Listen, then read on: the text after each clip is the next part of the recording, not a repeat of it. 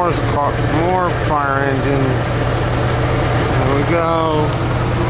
Freaking place, man.